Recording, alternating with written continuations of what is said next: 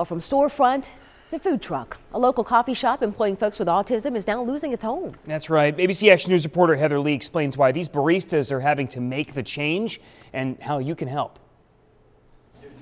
James, Dia, it's as simple as coming in, buying a coffee, and donating. They have to be out of here in one month, and they're hoping to raise $105,000 for the truck and everything that comes with it.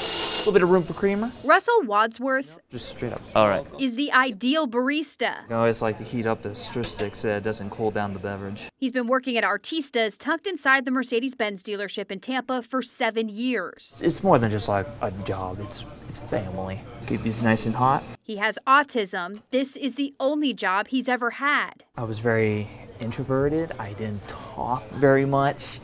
Being able to work in this environment, it helped me to be expressive. You're going through some changes, which is uh, which is expected in the business world. Vicky Westra, the founder of Artistas and Autism Shifts, says even though this shop is closing, the mission of helping folks with autism thrive isn't changing.